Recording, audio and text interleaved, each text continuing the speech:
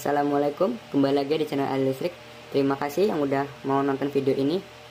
Dan terima kasih yang udah banyak subscriber dan mendukung channel ini ya untuk perkembangan channel ini. Saya akan menjelaskan data atau mentutorialkan cara menyeting STC 3028 ya kawan-kawan. STC 3 3028 ini mempunyai dua dua output ya kawan-kawan. Di sini untuk suhu nomor satunya dan nomor duanya untuk kelembapan ya kawan-kawan. Nah, dan di sini ada lampu out tanda indikator bahwa dia hidup ya, bekerja. Dan di sini ada out untuk kelembapan ya kawan-kawan, bahwa mati ya. Nah, ini suhu sekarang ya, suhu ruangan saya bilang suhu ruangan 28,7 dan ini kelembapannya 77,4 ya kawan-kawan. Nah, di sini ada ada empat tombol ya kawan-kawan. Tombol satu arah panah ke atas dan tombol satu arah panah ke bawah ini untuk menyeting suhu ya kawan-kawan. Dan di bawahnya ada dua tombol lagi. Uh, nomor 2 arah ke atas dan nomor 2 arah ke bawah ya kawan-kawan. Nah ini untuk menyeting kelembapan ya kawan-kawan. Kali ini saya akan mentutorialkan cara menyeting suhu aja ya kawan-kawan. Oke di sini telah bekerja ya kawan-kawan outputnya. Kita untuk mengetahui settingan terendahnya ya kawan-kawan. Di sini kita setting ya kawan-kawan. Kita pencet sekali arah satu ke atas ya kawan-kawan. Ini settingannya ya terendahnya 30 derajat ya kawan-kawan. Dan suhu tertingginya untuk settingannya di 31 ya kawan-kawan.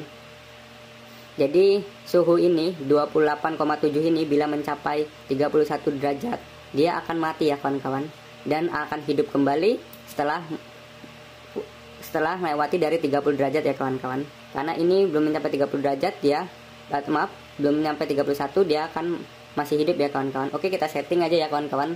Supaya lebih cepatnya saya setting ke 29 ya 29 matinya 29,5 ya kawan-kawan. Cara menyetingnya kita pencet sekali udah itu kita pencet yang lama ya sampai dia berkedip ya kawan-kawan.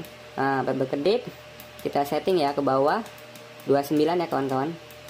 29 ini suhu terendahnya ya kawan-kawan. Udah kita biarkan saja sampai dia hilang kedipnya ya kawan-kawan. Nah udah itu kita setel suhu tertingginya ya. Suhu tertingginya 31 sampai dia kedip ya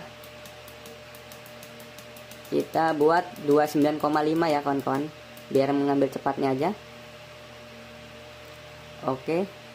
Ini suhu sekarang ya 28,7 ini untuk sensornya saya akan genggam aja ya kawan-kawan. Kita akan genggam. Dia mati di 29,5 ya kawan-kawan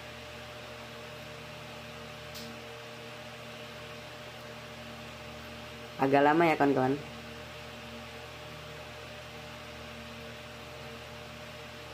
Dua delapan.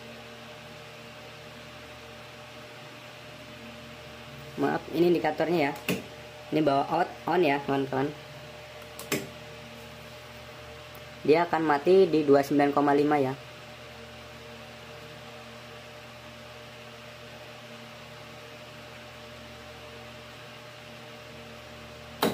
Nah, dia akan mati ya outnya.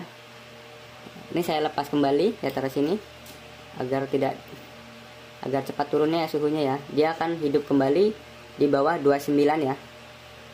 Kita coba kita tunggu.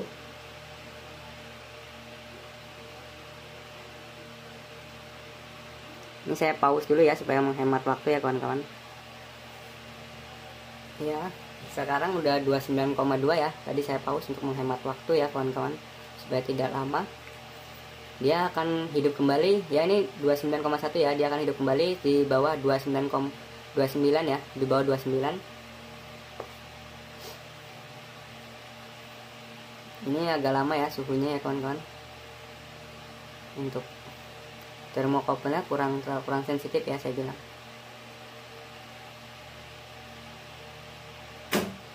Nah, dia akan hidup kembali ya setelah tercapai suhu terendahnya ya, 29 ya.